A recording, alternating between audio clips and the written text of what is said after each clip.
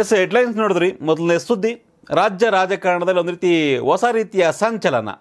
ಯಾರು ಯಾವ ಪಾರ್ಟಿಯನ್ನು ಬಿಟ್ಟು ಯಾವ ಪಾರ್ಟಿಗೆ ಹೋಗ್ತಾರೆ ಅಂತ.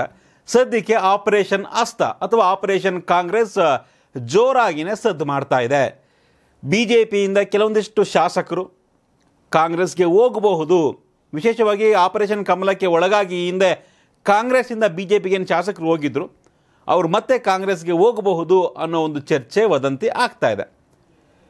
ಈ ನಡುವೆ ಅಸಮಾಧಾನ ಇರ್ತಕ್ಕಂಥ ಬಿ ಜೆ ಪಿಯ ಶಾಸಕರನ್ನು ಸಮಾಧಾನ ಮಾಡುವಂತಹ ಕೆಲಸಕ್ಕೆ ಬಿ ಜೆ ಪಿ ನಾಯಕರು ಕೊನೆಗೂ ಮುಂದಾಗಿದ್ದಾರೆ.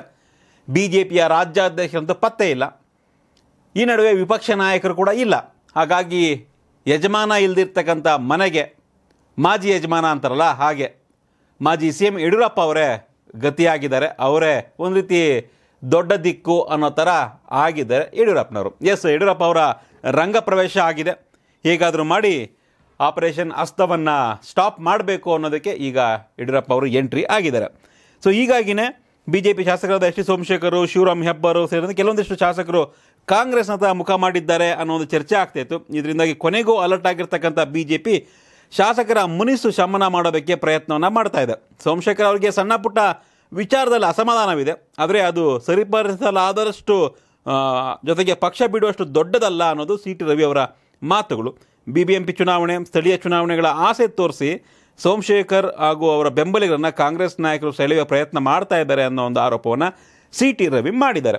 ಅಲ್ಲದೆ, ಆಪರೇಷನ್ ಅಸ್ತದ ಬಗ್ಗೆ ಆಕ್ರೋಶ ಹೊರಹಾಕಿರ್ತಕ್ಕಂಥ ಸಿ ಟಿ ರವಿ, ನಿಮಗೆ ಸ್ಪಷ್ಟ ಬಹುಮತ ಇದೆ ಅಂತ ಅತಿಯಾಗಿ ಮಾಡಕ್ಕೆ ಹೋಗಬೇಡಿ. ನಾವೇನಾದರೂ ಮಾಡಿದರೆ ನೀವು ಮತ್ತೆ ಮೇಲೆ ಹೇಳೋದಕ್ಕೆ ಆಗೋದಿಲ್ಲ. ಆಪರೇಷನ್ಗೆ ಆಪರೇಷನ್ ಮಾಡಲು ನಮಗೆ ಚೆನ್ನಾಗಿ ಗೊತ್ತು ಅಂತ ಸಿ ಟಿ ರವಿ ಒಂದು ರೀತಿ ಧಮಕಿ ಮಾಡೋ ಸ್ಟೈಲ್ನಲ್ಲಿ ವಾರ್ನಿಂಗ್ ಮಾಡಿದ್ದಾರೆ.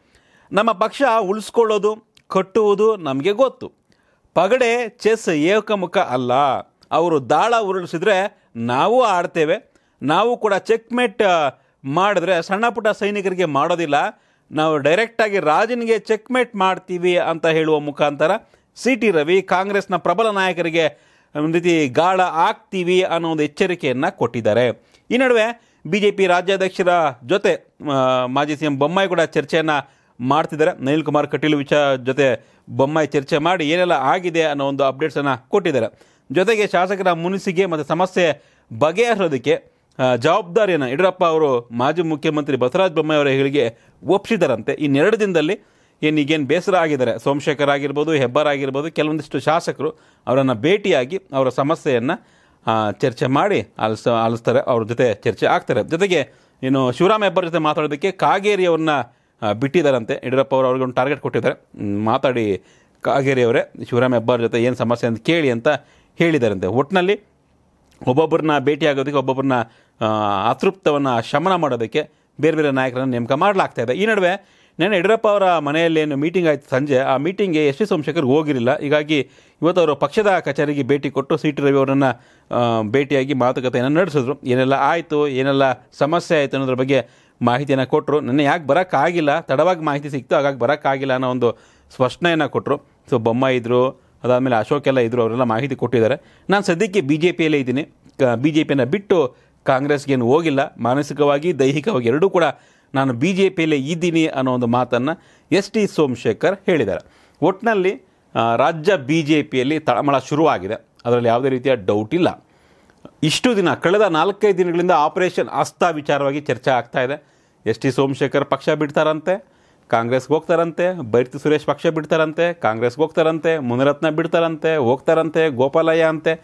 ಹೀಗೆ ಹಂತೆ ಕಂತೆಗಳು ಜಾಸ್ತಿ ಆಗ್ತಾ ಇದ್ದಾವೆ ಶಿವರಾಮ್ ಹೆಬ್ಬರ್ ಕೂಡ ಅಸಮಾಧಾನವನ್ನು ವ್ಯಕ್ತಪಡಿಸಿದ್ದಾರೆ ಬಿ ಜೆ ಪಿ ನಾಯಕರ ವಿಚಾರವಾಗಿ. ಹೀಗಾಗಿ ಇದೆಲ್ಲದರ ಎನ್ಕ್ಯಾಶ್ ಮಾಡ್ಕೊಂಡಿರ್ತಕ್ಕಂಥ ಕಾಂಗ್ರೆಸ್ ಒಂದಾದ ಮೇಲೆ ಒಂದು, ಒಂದಾದ ಮೇಲೆ ಒಂದು ಬಾಣವನ್ನು ಬಿಡ್ತಾನೇ ಇದೆ. ವಿಶೇಷವಾಗಿ ಡಿ ಕೆ ಶಿವಕುಮಾರ್ ಈ ವಿಚಾರದಲ್ಲಿ ಪಕ್ಷವನ್ನು ಮತ್ತಷ್ಟು ದೊಡ್ಡ ಮಟ್ಟದಲ್ಲಿ ಕಟ್ಟಬೇಕು, ಲೋಕಸಭಾ ಚುನಾವಣೆಗೆ ಈಗಲೇ ರೆಡಿ ಆಗಬೇಕು ಅನ್ನೋ ಕಾರಣಕ್ಕಾಗಿ ಆಪರೇಷನ್ ಕಾಂಗ್ರೆಸ್ಗೆ ಮುಂದಾಗಿದ್ದಾರೆ. ಬಟ್ ವಿಚಿತ್ರ ಅನಿಸಿದ್ದು ಮಾಜಿ ಶಾಸಕ ಸಿ ಟಿ ರವಿ ಅವರ ಹೇಳಿಕೆಗಳು.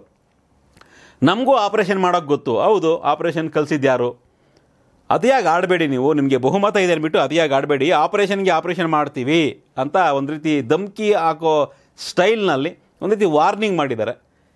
ಬಿ ಜೆ ಪಿಗೆ ಏನು ಹೊಸ್ದೇನಲ್ಲ ಆಪರೇಷನ್? ಬಿ ಜೆ ಪಿಯವರು ಕಲಿಸ್ಕೊಟ್ಟ ದಾರಿಯಲ್ಲೇ ಈಗ ಡಿ ಕೆ ಶಿವಕುಮಾರ್ ಹೋಗ್ತಾ ಇದ್ದಾರೆ. ಬಿ ಜೆ ಪಿ ಮಾಡಿದಾಗ ಎಲ್ಲವೂ ಸರಿ ಇತ್ತು. ಸರ್ಕಾರವನ್ನು ಊರುಳಿಸಿ ಕರ್ನಾಟಕದಲ್ಲಾಯಿತು, ಮಹಾರಾಷ್ಟ್ರದಲ್ಲಾಯಿತು, ಮಧ್ಯಪ್ರದೇಶದಲ್ಲಾಯಿತು ಹೀಗೆ ಬೇರೆ ಬೇರೆ ರಾಜ್ಯದಲ್ಲಿ ಇರ್ತಕ್ಕಂಥ ಸಿಟ್ಟಿಂಗ್ ಗೌರ್ಮೆಂಟ್ಗಳನ್ನು ಕೆಡವಿ ಆಪರೇಷನ್ ಮಾಡೋದಕ್ಕೆ ಕಲಿಸ್ಕೊಟ್ಟವರು ಬಿ ಜೆ ಪಿಯವರು ಈಗ ಕಾಂಗ್ರೆಸ್ ಅವರು ಆಪರೇಷನ್ ಮಾಡೋಕ್ಕೋದ್ರೆ ಹೋದರೆ ಅತಿಯಾಗಿ ಆಡಬೇಡಿ. ಬಿ ಜೆ ಪಿಯವರು ಆಡಿದ್ದು ಅತಿಯಾಗಿ ಅಲ್ವಾಗಿದ್ರೆ ರಾಜೀನಾಮೆ ಕೊಡಿಸಿದ್ದು ಹತ್ತು ಜನ, ಹದಿನೈದು ಜನ, ಹದಿನೇಳು ಜನ ರಾಜೀನಾಮೆ ಕೊಡಿಸಿ ಬೈ ಎಲೆಕ್ಷನ್ಗೆ ಕಾರಣ ಆಗಿ ಸರ್ಕಾರವನ್ನು ಬೀಳಿಸಿ, ಸರ್ಕಾರವನ್ನು ಮತ್ತೆ ರಚನೆ ಮಾಡಿಕೊಂಡು ಅಕ್ರಮವಾಗಿ ಸರ್ಕಾರಗಳನ್ನು ಮಾಡಿದ್ಯಾರು ಸೀಟಿರೋರಿಗೆ ಬಹು ಮರ್ತೋಗಿದ್ದೇನೆ ಅನಿಸುತ್ತೆ ಇದನ್ನೆಲ್ಲ. ಈಗ ಅತಿಯಾಗಿ ಆಡಬೇಡಿ ಅಂತ ಕಾಂಗ್ರೆಸ್ನವ್ರಿಗೆ ಹೇಳ್ತಾ ಇದ್ದಾರೆ ತಮ್ಮ ಬುಡಕ್ಕೆ ಬಂದಾಗ, ಅಂದರೆ ಎಲ್ಲಿ ಬಿ ಜೆ ಪಿಯನ್ನು ಬಿಟ್ಟು ಹೋಗ್ತಾರೆ ಶಾಸಕರು ಅನ್ನೋ ಒಂದು ಭಯ ಈಗ ಬಿ ಜೆ ಪಿ ನಾಯಕರಿಗೆ ಕಾಡ್ತಾ ಇದೆ. ನೋಡೋಣ, ಯಾರು ಅತಿಯಾಗಿ ಆಡ್ತಾರೆ, ಯಾರು ಆಪ್ರೇಷನ್ ಮಾಡ್ತಾರೆ, ಸ್ವಲ್ಪ ದಿನ ಆಗಲಿ ಗೊತ್ತಾಗುತ್ತೆ.